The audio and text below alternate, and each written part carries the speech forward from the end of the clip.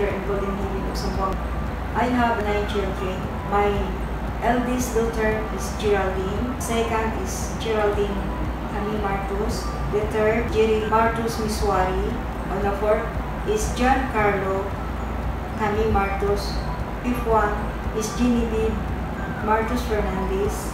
The sixth, Bernardo Martus Jr. Seventh, Bernardo Martus the second. Eight, Birma Martus.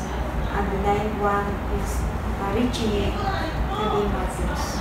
Out of nine children I, I have, isa na yun ang namatay, yung architect.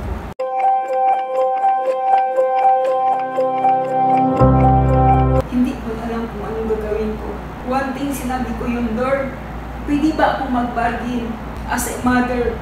Palitan ko na lang siya, ako na lang po ninyo, huwag ang anak ko. Kasi bata pa siya, hindi pa po niya naranasan kung paano ang talaga ang buhay sa mundo. Kasi puro siya work, work, work. Kasi sa lahat ng mga kapatid niya, tumutulong siya.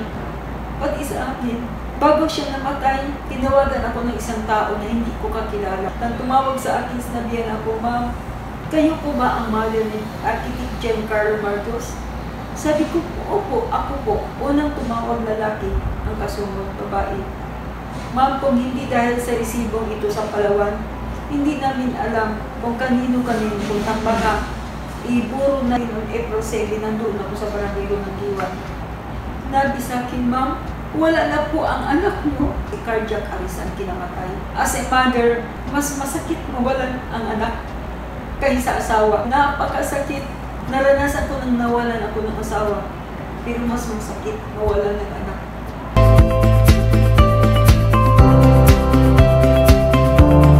Hello sa lahat ng mga anak ko.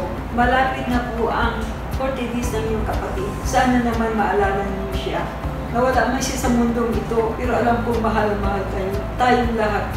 Eh kung hindi tayo mahal, sino ang magsuporta sa, suporta sa akin during Sambuang kasi walang iba kundi siya. Inapon niya isang responsibility ng isang anak kasi wala na yung ama. Pero alam ko man yan nagagustuhan ng Diyos. Tanggap ko na ngayon. Masakit man na masakit. I surrender to God. Nabigyan pa ko ng habang buhay kasi marami ka pang kapatid na kailangan ako. Nawala ka naman na tumutulong kung ano man ang pagkukulang ko.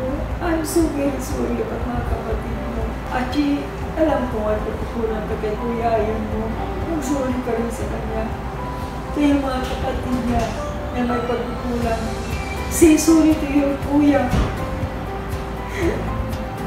Say sorry to you. Mahal ko kayo mga aking mga anak. Wala akong pinipilit. Wala akong pinagdamutan. Pantay-pantay ang tingin ko sa inyo lahat. Sana po huwag niyo siyang kalimutan. Kahit wala na siya dito sa mundo.